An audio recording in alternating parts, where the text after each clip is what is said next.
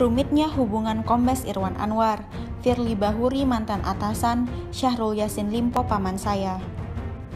Kombes Irwan Anwar menjadi sosok yang ramai diperbincangkan lantaran terseret di kasus dugaan pemerasan oleh pimpinan KPK Firly Bahuri terhadap mantan Menteri Pertanian Syahrul Yasin Limpo.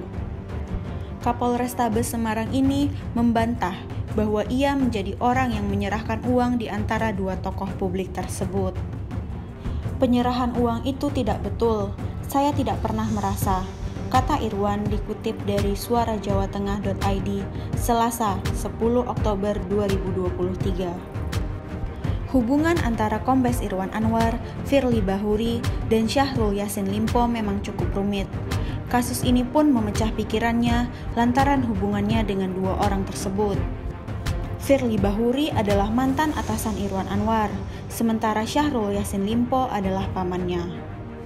Pak Firly adalah atasan langsung saya ketika saya menjabat Direktur Kriminal Umum di Polda Nusa Tenggara Barat NTB kira-kira tahun 2017 lalu.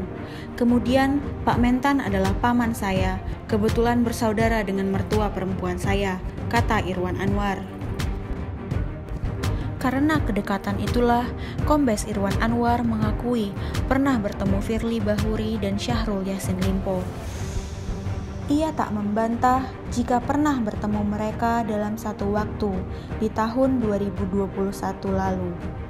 Saat itu, Irwan diminta mendampingi SYL bertemu Firly Bahuri dalam acara pencegahan korupsi.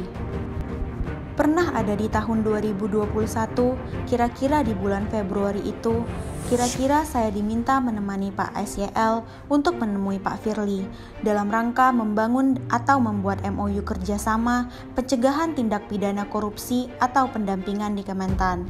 Dalam hal ini, pencegahan korupsi itu saja yang saya tahu, ungkap Kombes Irwan Anwar. Karenanya, ia disebut menjadi saksi kunci kasus dugaan pemerasan tersebut. Irwan Anwar pun mengaku sudah mengikuti proses pemeriksaan dan penyelidikan di bulan Agustus lalu sebagai saksi. Kan seperti yang saya sampaikan tadi, saya sudah dimintai keterangan dalam tahap penyelidikan. Sekarang kan sudah masuk tahap penyidikan, tentu saya akan dimintai keterangan, pungkasnya.